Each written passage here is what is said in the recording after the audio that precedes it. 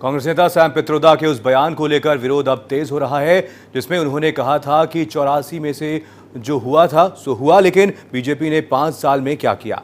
इस बयान के बाद से ही पित्रोदा का चौतरफा विरोध शुरू हो गया है। सिख समुदाय के लोग कांग्रेस अध्यक्ष राहुल गांधी के घर के बाहर प्रदर्शन करते हुए दिखाई दे रहे हैं और इसके अलावा भारतीय जनता पार्टी के कार्यकर्ताओं ने भी राहुल गांधी के घर के बाहर प्रदर्शन किया। यही नहीं, केंद्रीय मंत्री प्रकाश जावड़ेकर ने भी ट्वीट कर पित्रोदा पर निशाना साधा। जावड़ेकर ने लिखा कि सैम पित्रोदा के आपत्तिजनक बयान से कांग्रेस का खतरनाक चरित्र सामने आया है।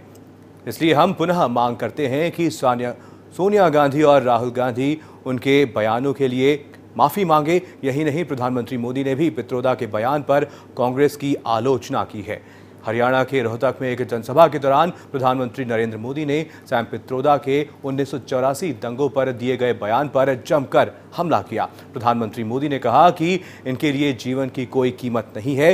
इनके ये तीन शब्द कांग्रेस के चरित्र को दर्शाते हैं।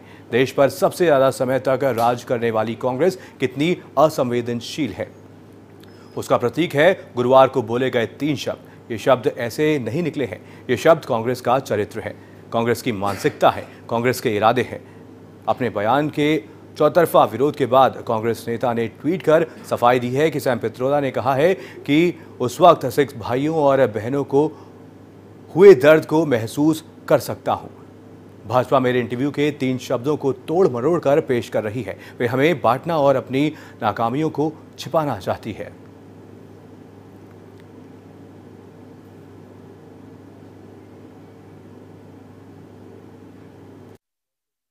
कौन था and this must be found this जो कत्ल होते हैं जो जो लोग मारे जाते हैं चाहे जितने मर्ज़ी साल निकल जाए पैंतीस साल हो गए हैं this has to be found and there is there investigation must carry on and जिन्होंने किया है उनको फिर uh, अदालत के सामने आना पड़ेगा कानून के सामने। ਇਸ ਤੋਂ ਇਲਾਵਾ ਸੁਖਬੀਰ ਬਾਦਲ ਹਰ ਮੰਚ ਤੇ ਕਹਿ ਰਿਹਾ ਹੈ ਕਿ ਜਿਹੜੀ ਬੇਦਬੀ ਦੇ ਘਟਨਾਵਾਂ ਨੇ ਉਹ ਤੁਹਾਡੇ ਵੱਲੋਂ ਕਰਵਾਈਆਂ ਕਾਂਗਰਸ ਵੱਲੋਂ ਕਰਵਾਈਆਂ, ਤੁਹਾਨੂੰ ਕਿਹਾ ਗਿਆ ਕਿ ਜ਼ਰਾ ਕੱਖ ਨਾ ਰਵੇ ਦੇਖੋ, ਮੇਰੀ ਗੱਲ ਸੁਣੋ।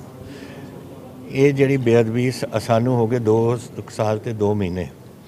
ਉਸ ਤੋਂ ਬਾਅਦ ਇੱਕ ਬੇਅਦਬੀ ਹੋਈ ਹੈ। 200 117 ਬੇਅਦਬੀਆਂ ਹੋਈਆਂ ਸੀ ਉਸ ਤੋਂ ਪਹਿਲਾਂ। Gutka Sahib, Guru Granth Sahib, Bhagavad Gita, Quran Sharif and Bible. कौन कराया था और कारण की थी। कारण ये था कि कम्युनल पोलराइजेशन चाहते थे पिछली चोन से पहले और कम्यून लकली पंजाब के लोग इस पर आए नहीं और कम्युनल पोलराइजेशन हुई नहीं और वो हारे इलेक्शन वो चाहते थे कि सिख इकट्ठे होकर उनके साथ लगे। This was the game politics always Akali Dal ऐसी बात करता है।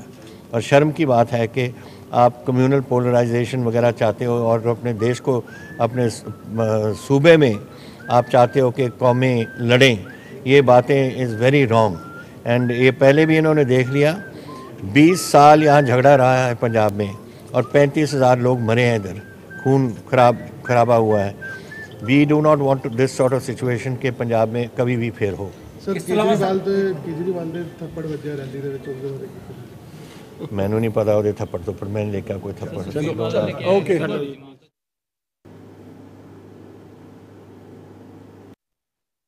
अब क्या है 84 का?